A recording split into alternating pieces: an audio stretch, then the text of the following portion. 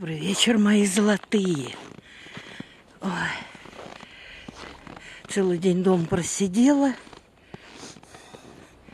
А под вечер все-таки пришлось идти в магазин.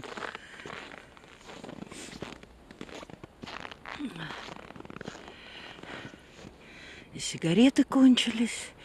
И посмотрела, есть-то нечего. Ну что, думаю, надо идти.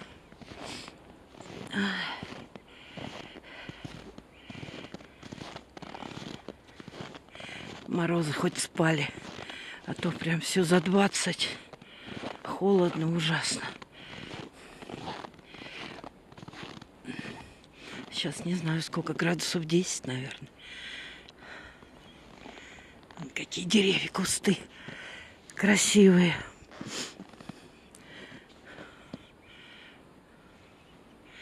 Вот я проживаю, вот это вот, этот дом, вот крайние окна. Крайние окна. Ой. А у меня свет-то, наверное, нет в квартире. Не могу. Раз, два, три, четыре, пять.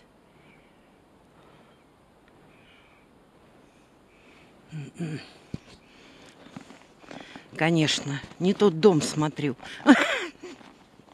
Ну, вообще, вот нормально с головой у этого человека. Свой дом прошла. Ой. И считаю на чужом доме окна. Ой. Машины, которые давно не трогали, в снегу стоят. Спасибо, конечно, хорошие мои что пишете мне, ой, освоишь телефон там, мон, ну, монтаж видео. Ага, я уже вон мимо дома прохожу, не замечаю. Ой. Ой. Вот, сходила в магазин. Зашла, конечно, фикс прайс. Куда без него. Ой, прям хочется аж постоять, подышать на, на воздухе. Мои золотые, спасибо вам огромное за поддержку.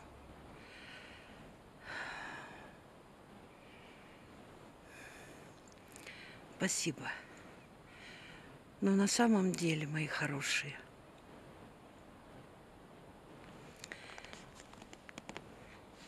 очень все тяжко.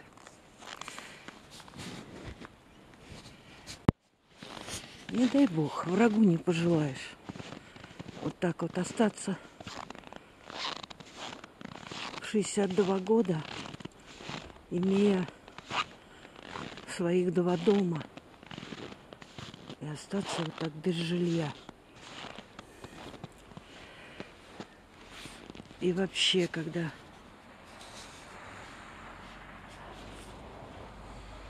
когда весь твой мирок взял и разрушился – Да, но было тоже все не весело, конечно. Но как-то было устоявшееся и каждое утро я знала, чем я должна заниматься. Что от меня ждут.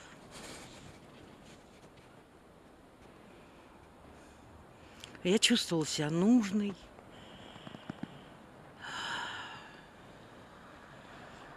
А потом раз и все рухнуло.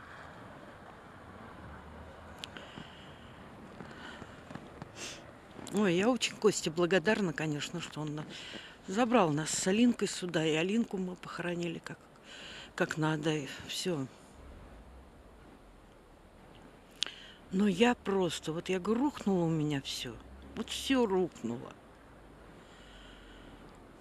И я не знаю, как мне жить дальше.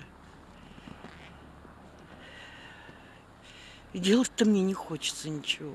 Я как-то делаю все на автомате.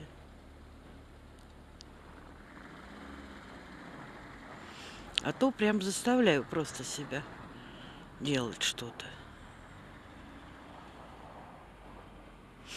И как вот жить дальше, я вообще не представляю. Я не знаю, что я буду делать. Нет, я знаю, что надо ехать в Черноморск, конечно, ехать надо. Потому что надо продавать дома, надо заниматься документами –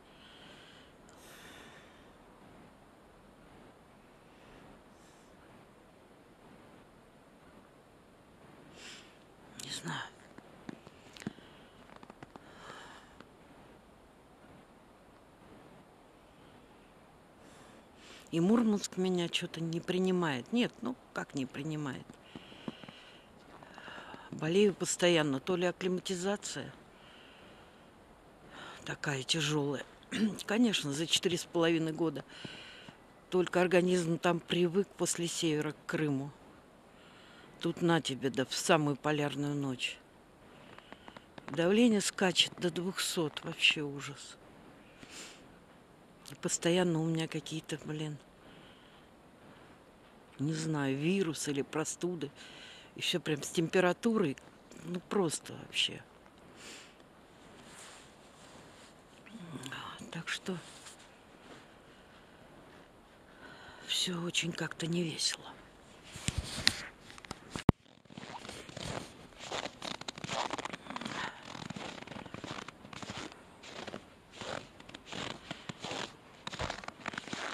И от внуков я не пойму, то ли, то ли я отвыкла от них, или просто у меня такое состояние, что что-то прям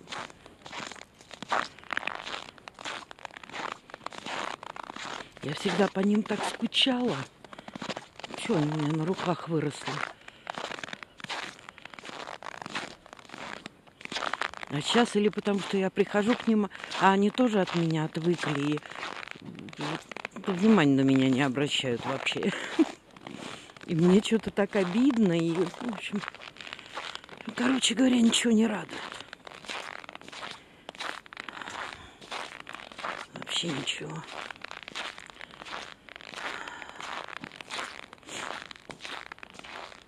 Может, ничего, может, пройдет.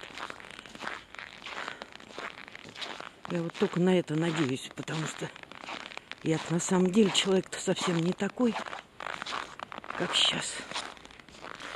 Я так-то женщина-то довольно активная, несмотря на свой возраст. А сейчас меня прям что-то прям подкосило совсем.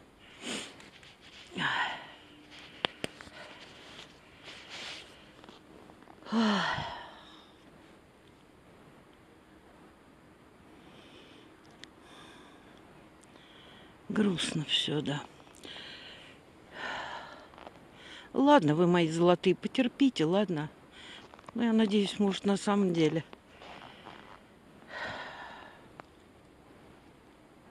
Может, время мало прошло.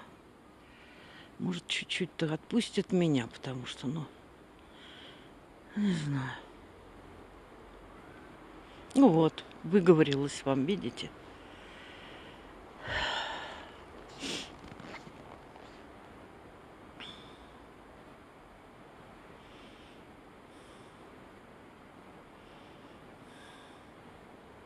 Я же не буду Кости вот это нытье свое. У него своих проблем хватает. У кого сейчас жизнь-то легкая. Да, она никогда, собственно, легкая не была. Ни в какие времена. Вот. Ну ладно, мои хорошие. Пошла я домой. Есть хочется.